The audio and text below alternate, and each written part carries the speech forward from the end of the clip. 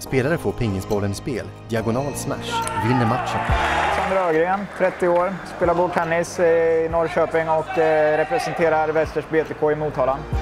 Bilder från en vinst i dubbel.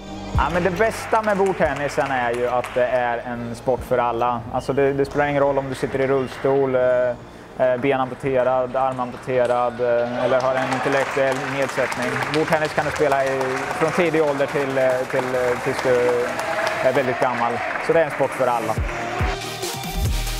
Matchbilder med snabba smashar och ballongplock med full koncentration från rullstolen. Kan man få in eh, sporten i sin, eh, sin dagliga rörelse så är ju det väldigt bra. Alltså, om de lederna man har så ska man ju underhålla dem för att, ja, för att få ett hållbart liv så länge som det är möjligt.